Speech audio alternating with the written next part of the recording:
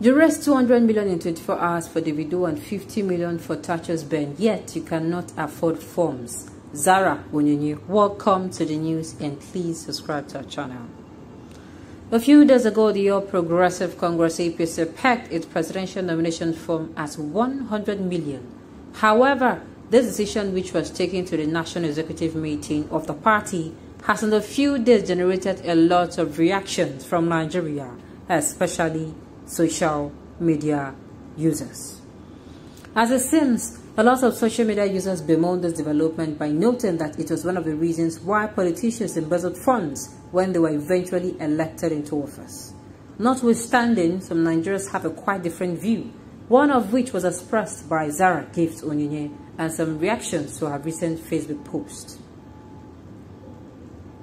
Zara Gift Onyinye is an all-progressive Congress APC media personnel and staunch supporter of the present government in Nigeria, drawn from her Twitter profile. Some hours ago, Zara took to her Facebook page to express how jokingly she sees many reactions to APC's 100 million presidential nomination forms. In a series of posts on her Facebook handle, Zara describes some Nigerian youths complain about the price of the forms as jokers. According to her, it was hypocrisy that these youth could sponsor protests and raise money for their favorite celebrities to take care of themselves, but they keep complaining about the price of phones. She wrote thoughts. Those who raised over 200 million within 24 hours for Davido and raised over 15 million to buy Benz for Tacha of BBN are complaining over 100 million naira a piece of phone. However, in another post, Zara Onyinye described how people donated to support political campaigns in the 90s, not minding the glaring wealth of the uh, aspirant. Her post read thus, in 1993, people like Alao, Arisekola, Folawiyo, Doyin Group, etc. donated heavily into MKO Abiola's Hope 93's campaign, despite Abiola's glaring wealth. Nevertheless, Zara posted of mixed reaction from fans. Obviously, while some defended their popular and favorite celebrities, some agreed with her. In fact, some other persons concluded that there are other parties than the APC with lesser prizes for condemnation forms. Some of the reactions were captured and they go thus. For me, the money is not too much due to the fact that everyone who is online to be a president will raise funds for this matter. Wow. Another opined those that are complaining that AP's nomination form is too expensive, then they should go to the party that their form is cheap.